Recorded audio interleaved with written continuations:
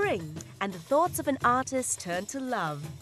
In this exhibition, which hits Singapore, artist Gnana muses on the quintessential topic that has inspired poets and artists since time immemorial.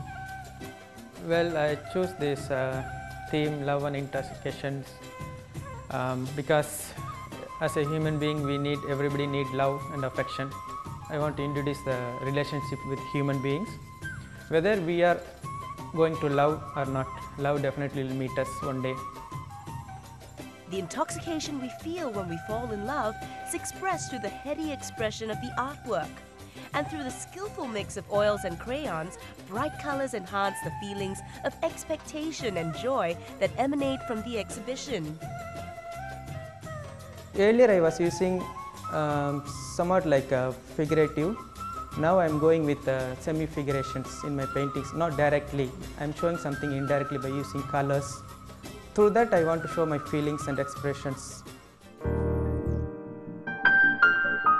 An apt debut this month, with Valentine's Day bringing thoughts of love to the forefront. And Love and Intoxication offers modern insights into the nature of relationships. The paintings which were shown is, uh, is a couple where that, uh, the male and female is together. I, I can say that a female need a comfort from a man. It's a theme that I focus on that. It's in a relationship based actually. So he and she need a, a comfort each other.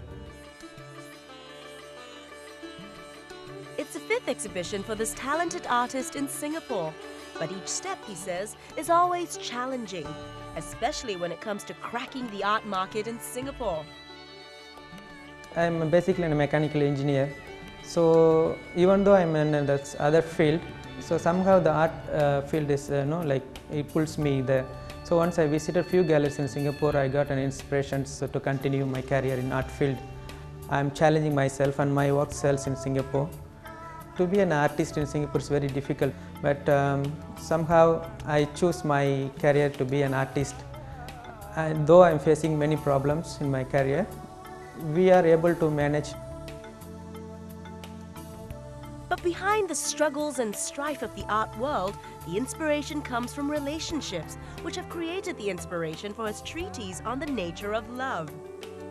each and every paintings there is a meaning of uh, love and intoxications. After coming to Singapore, I also fall into love.